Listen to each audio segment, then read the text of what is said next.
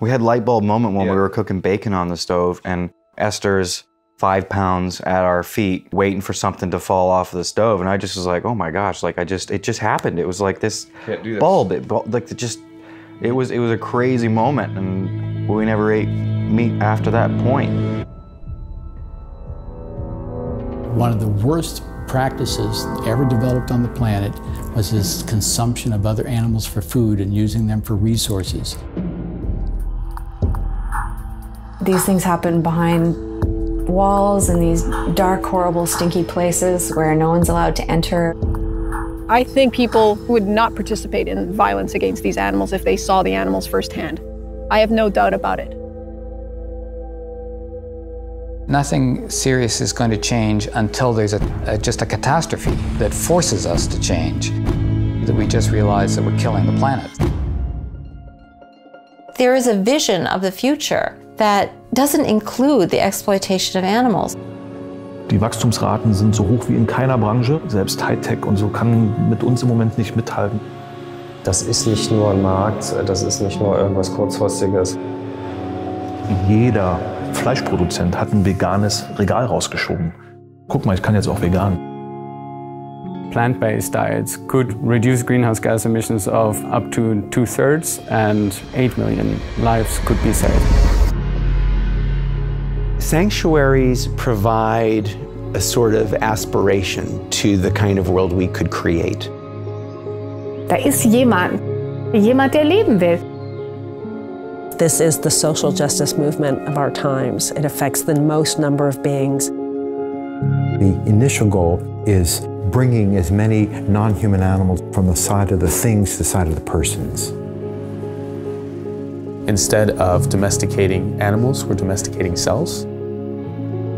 How could I choose something that came from a slaughtered animal if, the, if what my experience is is the same? I think it will eradicate traditional livestock meat production.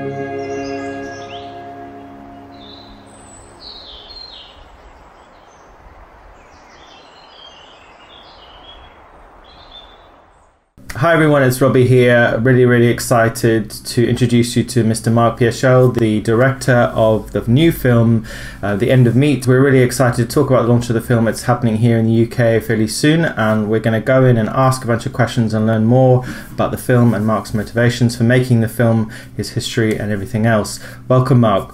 Oh, thanks for having me. So, before we start talking about the film and your history and, and being a filmmaker, let's talk about your history as a vegan. Like, how did you get into the movement and, and what was your vegan journey? Okay, so I went vegetarian when I was 17, and then back then it was a bit harder to find out all these things, how uh, animal products are being produced, basically. So um, it was hard to get that information. And then a couple years later, I watched the documentary called Baraka. Mm-hmm. Beautiful film. Yeah, love it. And there's a scene where they're debeaking chicks and they're sorting the male and the female chicks, and that just got me thinking. And I did some more research, which was a bit harder because the internet wasn't there and information wasn't readily available. But I looked into it and I decided to go vegan. How have things changed in all these years that you've been vegan? I am I'm, I'm guessing you know you've seen a massive shift in the world. Yeah, absolutely. I mean, it was it was difficult uh, being vegan at that time. It was around 2000 in Germany, so it was hard to get all these products. Um, there were some, but I think my first tofu was in a glass, and I wow. didn't. I had no idea how to prepare it. So I was like, "Oh, this is this is not very tasty. But right. uh, compared to now, that's it's just so much easier now. There's such a variety of foods, and there's so many cookbooks. It's so easy to look all this information up, and it makes it way easier for people to start now. Absolutely, and Germany's definitely leading the way. I've been to Berlin a few times, and then you throw a stone and you hit a vegan cafe or um, a vegan restaurant. It's really inspiring. Yeah, absolutely. I mean, uh, that's something we look at in the film as well, just how this um, shift has happened in Berlin and how it changed so quickly from uh, this term veganism that was known to almost uh, no one before, and now it's like entered the mainstream and people mm-hmm. are talking about it all the mm-hmm. time. And the film itself, do you want to give us the audience a bit of a background as to how the film came about and what was, you know, what was the kind of like the spark that, that brought the film to life? Sure. So the idea was to explore how the world would look like if we stopped eating meat and animal products. And the idea um, came about when I was doing interviews for my previous film, Live and Let Live, and I always always asked the question what people would think the world would look like in 20 years from now. And I got some really interesting answers. And then when um, the whole vegan idea took off in Germany about eight years ago, I thought maybe this is more than just a trend. Maybe this is the beginning of a larger movement, and that got me starting the film. And was this um, something that you did on your own, or were there people around you that were encouraging you to do it? Was it kind of like one of those aha moments? yeah, I was I was talking to friends about this idea and how there isn't really a perspective how a world, how a vegan world would actually look like, and there hasn't been done much much research. So I thought it was really interesting to follow this as a documentary idea subject. And you're an author as well. Um, tell us a little bit about the books that you've written. Sure. So I uh, wrote a cookbook in 2000 that was released in 2007, which is called Vegan Lecker Lecker, which is it's like one of the first vegan cookbooks in Germany, and it sold really well. And then it was just basically all my favorite recipes, and I put them together in this little book. So, um, and it seemed to resonate with people. And then um, three years later, I wrote a basic introduction guide to veganism for for new vegans, like talking about the ethics, how to go vegan, things to avoid, things to look look out for, labels and all that stuff. And yeah, that's been selling really well as well. Mm-hmm. Amazing.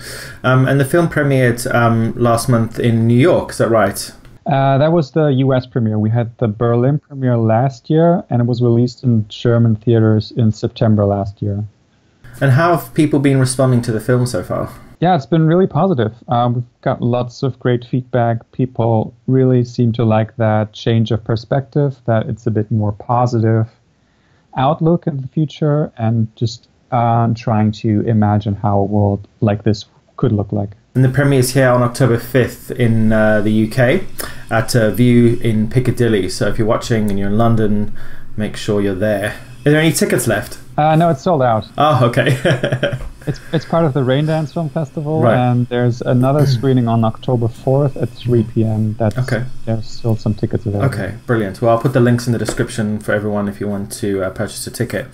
So let's dive into the film and let's just tell us about the kind of the narrative and the kind of the main things that you're trying to get across in this film when people watch it. Sure. So um, we start with a bit of background, a bit of history on meat consumption, meat production, and um, just as an introduction for people who don't know Mm-hmm. History, that yeah. much about it.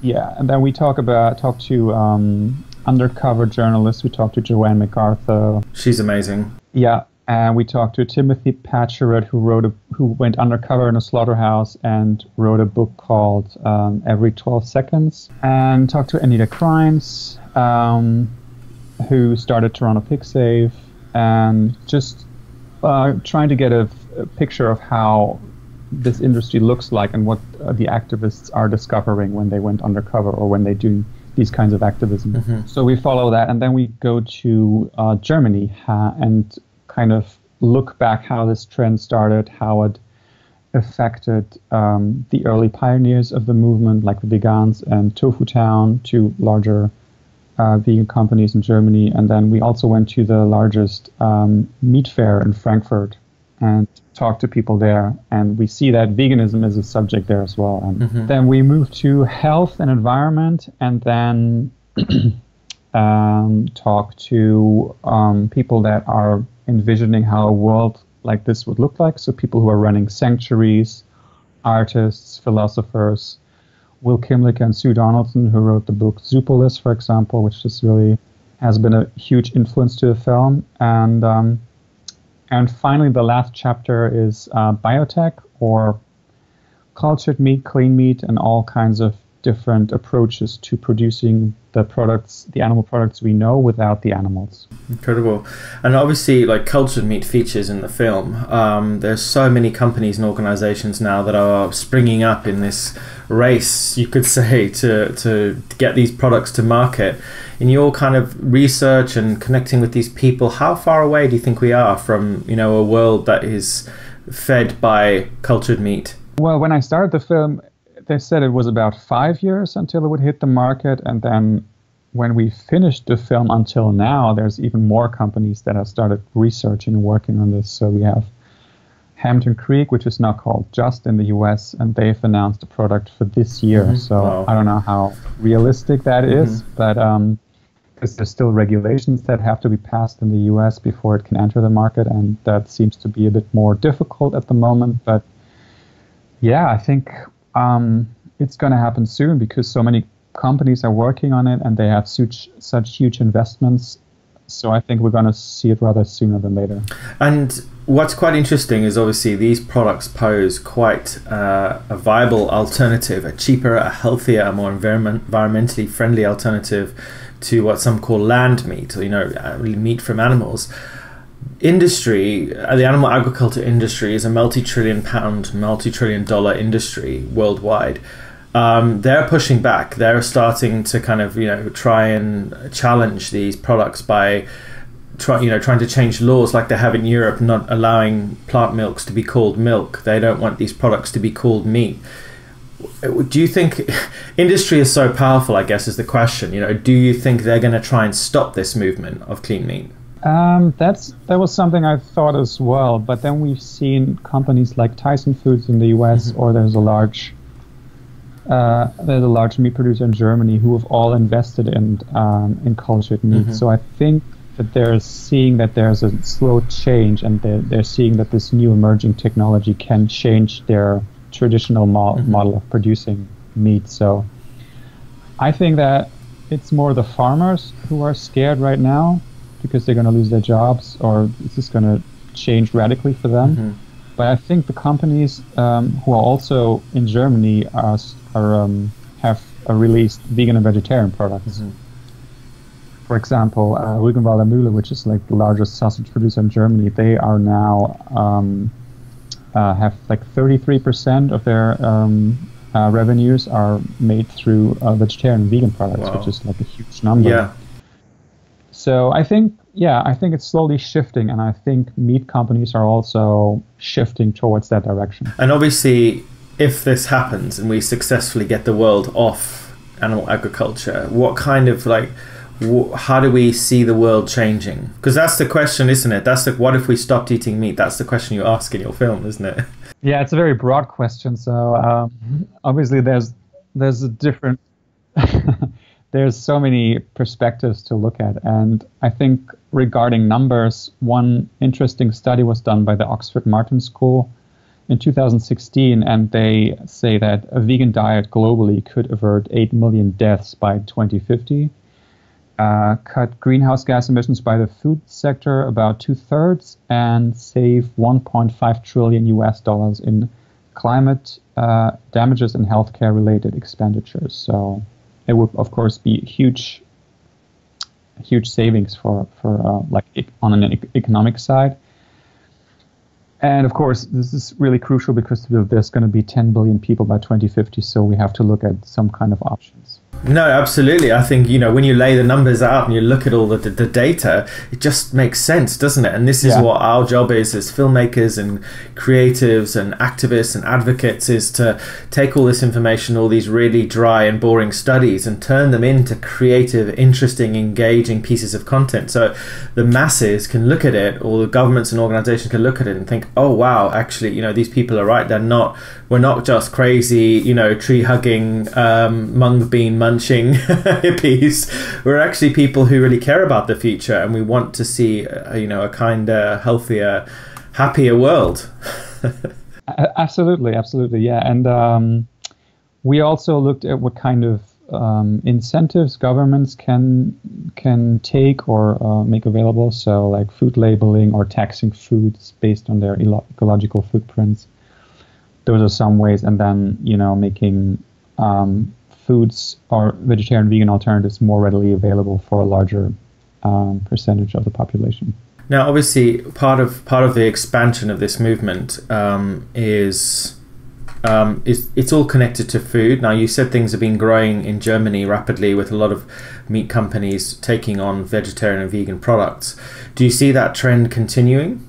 Worldwide? I mean, because I assume you've traveled and you've experienced different cultures. So, are you seeing that shift growing? Because obviously, here in the West, we're very lucky. We're in our little bubble where veganism seems to be expanding, but there is a whole other world out there. I mean, do you, do you think the rest of the world is, is picking it up as well? Well, uh, we see the trend like in Germany growing to other countries as well across Europe. I think that's there's a slow growth happening there.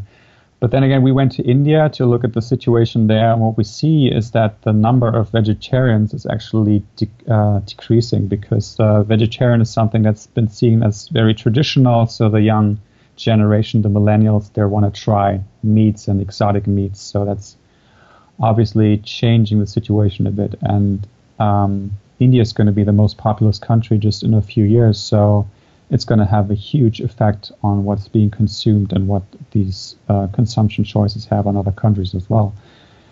So, but there's also um, groups that are working on um, informing the public. There's a huge vegan movement growing there as well. So we see that the um, shift is happening there as well, just not as fast as it is here, probably. And um, and the film kind of also features. Uh, kind of all kinds of educated people and people in kind of the scientific world.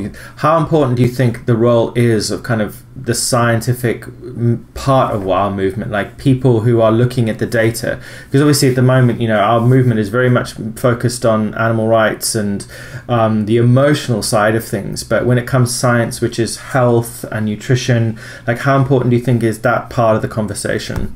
Good question. I think health is really important because what I've uh, learned uh, when I looked at the, the, development in Germany, it was the health aspect that got veganism into the mainstream. Because we had, um, I think it was two, three scandals of where they found horse meat in lasagna. That was a big thing. And then there was this discussion happening, and people um, started looking at veganism for like a healthier option, and then we saw the release of all these cookbooks, and that was what got veganism into the mainstream. I think it wouldn't have been possible with just the ethical side. Absolutely. Uh, we find the same here at Plant Based News as well. A lot of the content that seems to engage people the most is things to do with nutrition and health and fitness because I think it's a personal thing, isn't it? People feel a sense of connection with it because they read information, they learn about how these animal products can negatively affect their own bodies and their own health. Um, and it's it's a lot easier for them to take it on because you know to be fair, not everyone cares about animals, not everyone cares about the future and the environment. So sort of helping people understand that shifting to this lifestyle can have a positive, really positive effect on us as people. I think, like you say, it's a good way of hooking people in, drawing them in, and then kind of like you know secretly, not secretly, but kind of like getting in the animal ethics um, message? Yeah, I think it's just like a gradual change. When people get into this movement or get into the idea of veganism through health, then they will automatically look at the ethical side as well. And that's, I think there's a study that uh, found that people shift to more the ethical side. That's that's becoming more important to them once they look into it more. I don't know if you're familiar with uh, Rao. Have you heard of Sailesh Rao? Climate mm-hmm. Healers. No. So Sailesh um, has a program called um, Vegan 2020, 2026, where he believes that we must make a vegan world by 2026, as in we must end animal agriculture by 2026. And it's an interesting idea because he believes that if we don't do it after that, then we will have catastrophic shifts in our entire planet. Um, he talks about humans being these kind of like um, heat regulators of the planet. We've kind of, you know, with our lifestyle, with animal agriculture and industry, we've we've warmed the planet to the point where we've maintained it in its current state. So it's, it's we've avoided uh, the ice age, you know, the last ice age. Um, but you know, animal agriculture is sort of taking us, what factory farming mostly is taking us like way over the line. Um, are there any numbers or ideas around, you know, how much time have we got left before we actually, because this is Sailesh's idea, but have, have you heard anyone talk about how much, how you know, the clock, we're up against the clock, how much time have we got left really? Ah, that's a good question. I think uh, there's there's a study I read that the peak meat, like the point where meat production is sustainable for the planet, is long is long past. We're long past that. So I think we're just going to see the consequences slowly building. Like in Germany, we see that with uh, the level of nitrate in, in groundwater that's really pro- a problem because of the uh, the feces of the uh, factory farm pr- production is uh, growing and they don't know where to put it.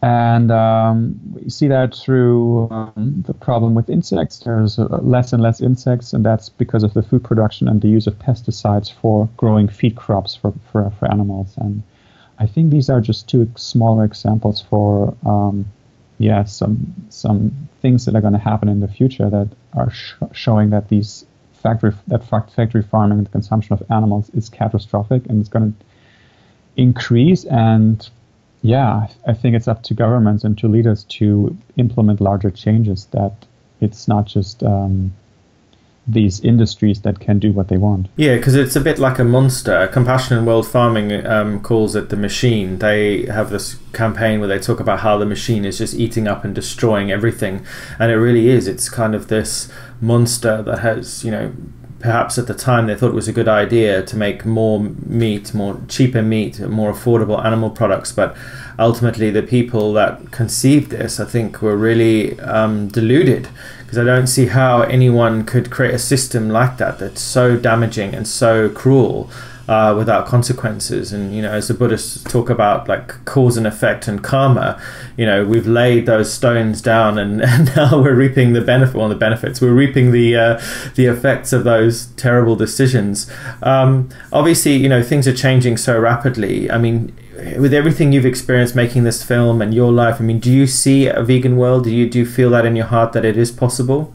Well, when I started making the film, I was a bit more conservative about the idea, but then when I learned more about biotechnology and how fast these companies are growing and how far this idea has already progressed, that made me a bit more hopeful, I'd say, because I think when cultured meat enters the market at a price that is uh, competitive to regular produced meats right now, I think it will radically change the market, and that's I think it's not just going to be vegans that are going to ch- help us uh, shift. I think it's the flexitarians, the people that are actively reducing their meat consumption, because that's what's driving the growth of the plant based meats and the cultured meats in the future. So I think that's really the key to helping people shift and change to a plant based diet. Let's talk a little bit about animals themselves. Now, obviously, as vegans, we care about animals because we don't want to see them suffer for our pleasure. Why do you think it's so difficult for many people to see animals as individuals? Um, because ultimately we grow up and we're brought up in a world where animals are not seen as individuals, they're seen as a commodity. I think it's just because of the separation, because people don't really have to deal with farmed animals anymore. I mean, it's a it's a factory farm. It's people don't ever look into a factory farm and then they transport it to the slaughterhouse. So the only time people are going to see these animals is when they're on a transport truck somewhere on the road to the slaughterhouse. So I think there's this alienation from farmed animals, and people don't really yeah, see them for what they really are. And then we have examples like Esther the Wonder Pig, which uh, is also in the film, that radically changes people's perception because you see this animal in this um, in this household and together with dogs and cats, and you see that she isn't really any different from dogs and cats. And that's, I think, examples like that help pe- people change their perception, their um, yeah, view of farmed animals. Definitely, and um, you know, obviously, being an advocate, like, what are your thoughts on the the most effective ways we can advocate for animals? Because there's so many different ways in which we can do it. But I mean, are there, in your opinion, more effective ways? Well, I think um, leading by example is probably the best the best way to go. I, have um, I've tried some different approaches over the years, but I think that's that's what what works most effectively. That you you uh, show people that this lifestyle really is nothing different if you if you take a little time and get into the basics and the structure. And yeah, it's just so much more compassionate. And when people see what their uh, consumption choices are, or what's behind their consumption choice, it, it really makes them afraid that they don't want to change, and they also don't want to cha- see the, the images from slaughterhouse and from factory farms or animal cruelty. They're trying to avoid that. So I think it really helps um, to be gentle in the approach and show them, okay, here, this is veganism. It tastes really good. It's available everywhere, so there's no need to hide from it. Amazing. And um, one of the things that we all struggle with on a daily basis is with seeing so much suffering. We are um, people who care as vegans. That's why we're vegan. We we feel a compassionate connection with the earth and every creature on it, from every fly to every bird. You know, we we want to treat all animals with respect. And but sometimes when we see this suffering, we see the way animals are treated, you know, and also our fellow human beings. It's very difficult to remain positive and feel a sense of hope. Like, how do you, on a daily basis, maintain a sense of hope that humanity is moving in the right direction? Oh, that's a good question. I, I mean, I have to admit, I live in a sort of a vegan bubble, so, and maybe that's necessary because if you really look at the numbers and you see trans animal transport trucks just driving past my office every day, so it's really hard not to become depressed about it because there's just so much suffering going on, and I think it's really important to focus on yeah, this, just uh, the slow victories we've gained over the years, and that there is a hopeful future, and that it helps people to um, yeah look at the positive side, and that's something I tried with the film as well, because there's already so many documentaries that focus on the negative aspects of it, and I just wanted to show that there's a positive side to it all, the positive future of veganism and plant-based nutrition. And with human beings, um, you know, we do you think here's a question for you about us as people as creatures do you think compassion is innate within us or do you think that's something that we have to learn as people? Do you think we have to be taught it?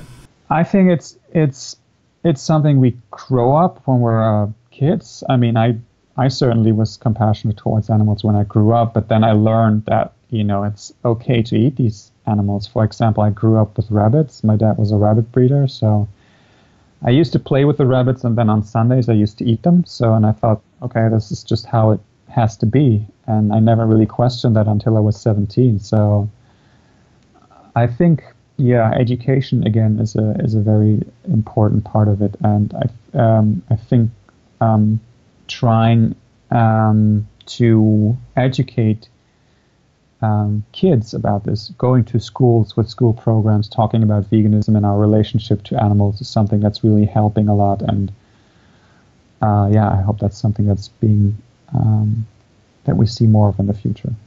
At that age of seventeen, what what shifted in your mind that kind of helped you see beyond the the, the carnistic kind of like conditioning that you had? Um, so I grew up in a rural area, so it was hard to get exposed to new ideas. And then I got into punk rock music, uh, political punk rock music, and that yeah. was something that when I read the lyrics, I was like, wow, there's all these ideas that I didn't know anything about. And then I looked into it more, and then I decided to go vegetarian. This is the incredible thing about art and music and culture and film and how it can inspire people to make changes in their lives. Um, if there are people out there who are watching who, who want to get involved in making films or creating art, and as a you know as a creative person yourself, what have you got any advice for people as to where to begin? Well, I don't have a I, have an, I don't have an education in filmmaking, so I'm, I'm a self-taught filmmaker, and I think it's just um, important that you, when you have an idea, you follow through with it. Don't let anyone tell you you can't make a movie just because you don't have a background. It's just if you're passionate about something, then try to achieve it no matter at what cost. Um, I think it's easy. Technology is um, becoming more readily available. It's more easier, way more easier to make film than it was a couple years back. So, uh, yeah. Are there any points in the film that really stand out to you that you feel like people you really want people to take away from that when they when they leave the cinema?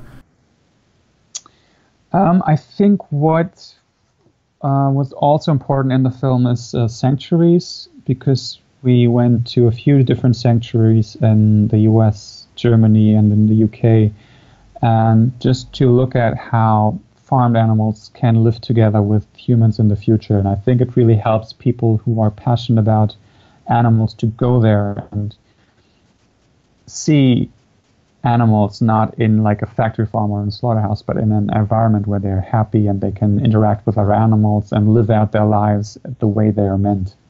So I would say that, yeah, if you're an activist, if you're passionate about animals, go to a sanctuary and connect with the animals. It really helps sustain your activism and it, yeah.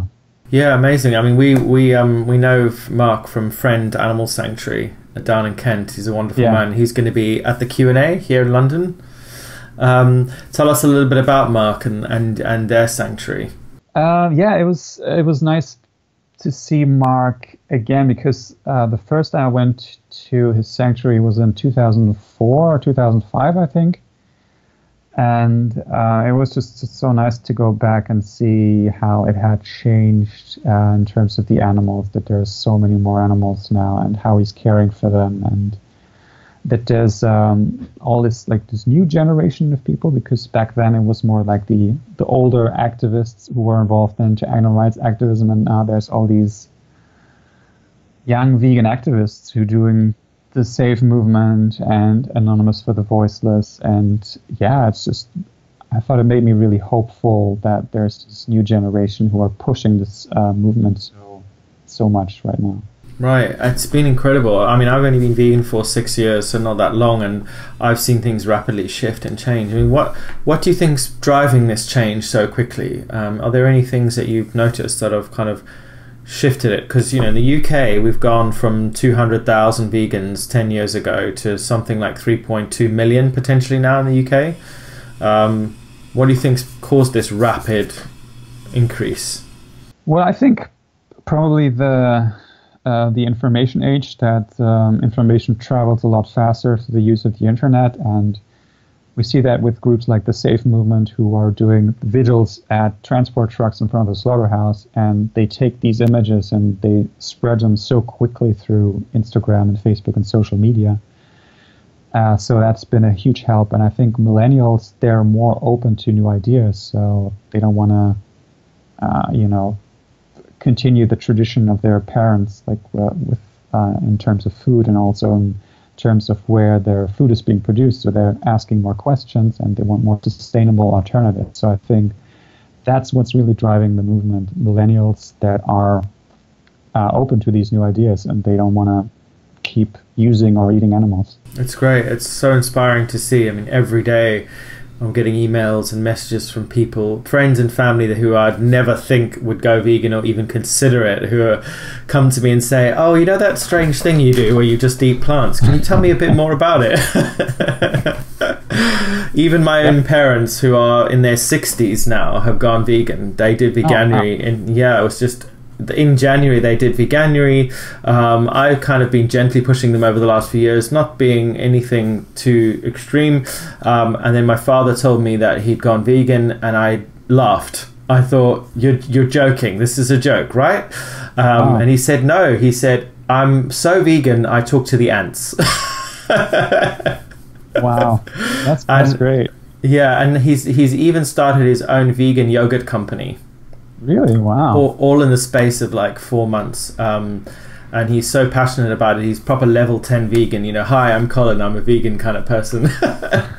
Oh, that's great. yeah, so uh, it does give me hope for the future because if my father, this steak eating farmer, um, can go vegan, anyone can.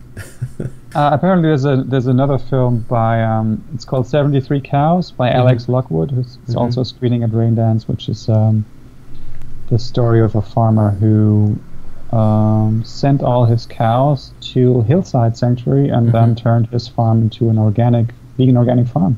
Brilliant. Well, thank you so much, Marc. I really appreciate your time. I'm super excited to see this film here in the UK. Yeah, and the film's going to be available in the UK on iTunes and Amazon um, around November, I think. So Amazing. How can people get in touch with you and follow you on Twitter, Instagram, etc.? The website is theendofmeat.com, and um, on Facebook, we're on Facebook, Instagram, Twitter, and it's uh, at uh, end of meat, and the hash uh, the handle is no, sorry, the hashtag is end of meat, and the handle is at the end of meat.